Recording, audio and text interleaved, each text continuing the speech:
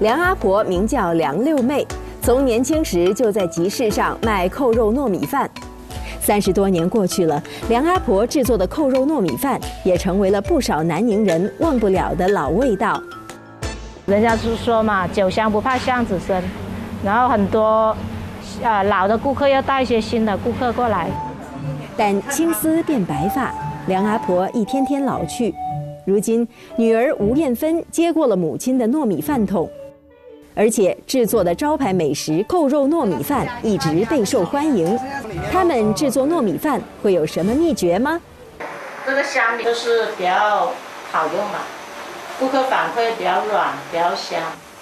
口感的话，它是有嚼劲、有弹性的。糯米饭好不好吃？糯米品种最为关键。吴艳芬选用产自安徽的精糯米，洗净后放入木桶蒸制。可为什么非要使用木桶来蒸制糯米饭呢？有木桶的香味跟糯米结合的话，而且它这个米蒸出来会比较柔软一点。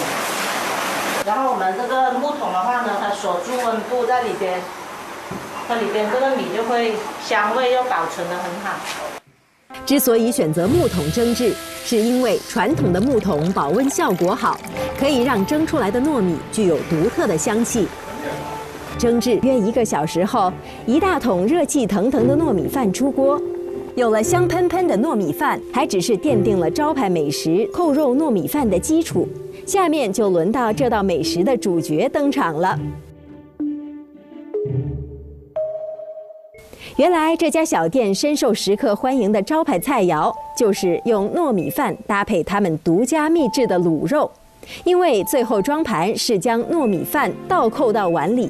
上面盖上卤肉，形似扣肉，因此大家都习惯地称之为扣肉糯米饭。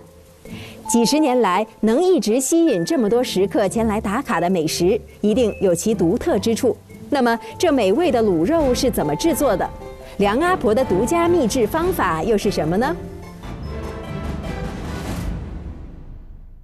肥瘦相间的五花肉，整块在热油锅中历经两次炸制，炸到金黄焦香，油脂满溢。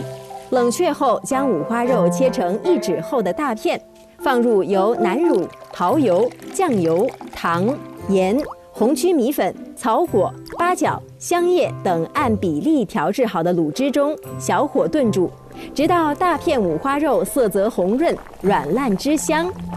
然而，吴艳芬说，此时的大片五花肉还只是寻常味道，真正画龙点睛的做法还在后边。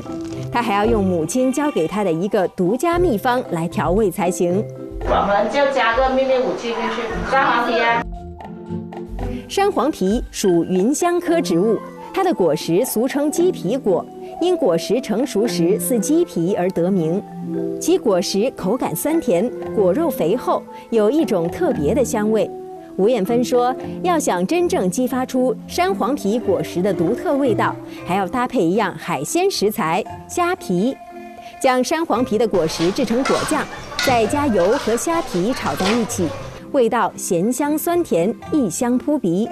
将这个秘制的酱料加到卤肉的汤汁里。就可以为卤制的大片五花肉增加别样的味觉层次。天呢，每天量的话，它是十锅左右，因为每一小锅一小锅煮的话，它就是软硬程度就比较合适。一大锅的话，有时候你火候不够的话，它那个肉就比较硬。然后如果你煮的正好合适了，它整锅还焖在火里面的时候，它就容易烂了。太烂的话，没有嚼劲也不好吃的哦。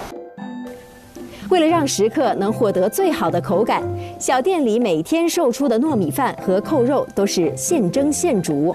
吴艳芬每天从早到晚不间断的蒸饭、卤肉、盛饭。